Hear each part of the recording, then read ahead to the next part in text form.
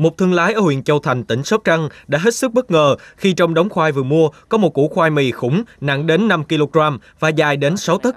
Hình dáng của khoai mì này giống như một chú heo con đang ngủ. Chị Lâm Hoàng Phương, thương lái cho biết chủ nhân trồng được củ khoai mì này là một nông dân ở huyện Kế Sách, tỉnh Sóc Trăng. Dù củ mì khá lạ và được nhiều người quan tâm, nhưng chị bán cho một người hàng xóm mua về nấu chè với cái giá không có gì đặc biệt, 5.000 đồng một ký.